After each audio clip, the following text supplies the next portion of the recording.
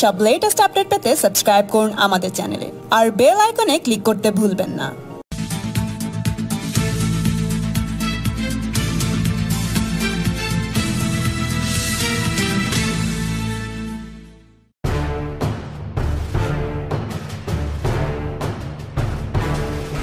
কংগ্রেস ছেড়ে বিজেপিতে যোগ দিতে পারেন হাসিন জাহান। মোহাম্মদ স্বামীর স্ত্রী হাসিন জাহান শনিবার সন্ধ্যায় হঠাৎ বঙ্গ বিজেপির দপ্তরে হাজির হন।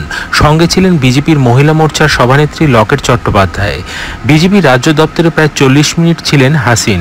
তাতেই জল্পনা পারদ চড়েছে। লকেটের সঙ্গে তিনি একই গাড়িতে রাজ্য দপ্তর ছেড়ে যান। যদিও বিজেপিতে যোগদানের ব্যাপারটি উভয় পক্ষ কেউ স্বীকার করেননি, হাসিন বলেন, লকেট চট্টোপাধ্যায়ের সঙ্গে আমার দীর্ঘদিনের পরিচিতি। সে কারণেই তিনি সাক্ষাৎ করতে এসেছিলেন। এটা একেবারেই সৌজন্য সাক্ষাৎ। হাসিন বিজেপির সদর দপ্তরে আসায় দলবদলের জল্পনা মাথাচাড়া দিয়ে ওঠে। দু হাজার আঠারোর ষোলোই অক্টোবর তিনি মুম্বাইয়ে কংগ্রেসে যোগদান করেন। কিন্তু যোগদানের পরও তিনি কংগ্রেসে নিষ্ক্রিয় ছিলেন। এখন বাংলায় বিজেপির হাওয়ায় গা ভাসাতে তিনি বঙ্গ বিজেপিতে যোগদান করতে পারেন। হাসিন দীর্ঘদিন গারস্থ অশান্তিতে ভুগছেন। তিনি তার স্বামী ক্রিকেটার মোহাম্মদ সামি ও তার দাদার বিরুদ্ধে বধূ নির্যাতনের মামলা করেন।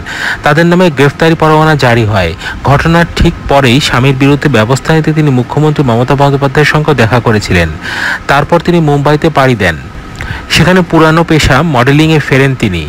অভিনয় করেন দু একটি সিনেমায়। এরপর তিনি কংগ্রেস, মুম্বাইয়ে যোগদান করে রাজনীতিতে আসার পসার জমানোর চেষ্টা করেন। শেষ পর্যন্ত কংগ্রেস ছেড়ে বিজেপিতে যোগ দিতে পারেন বলে জল্পনা এখন তুঙ্গে।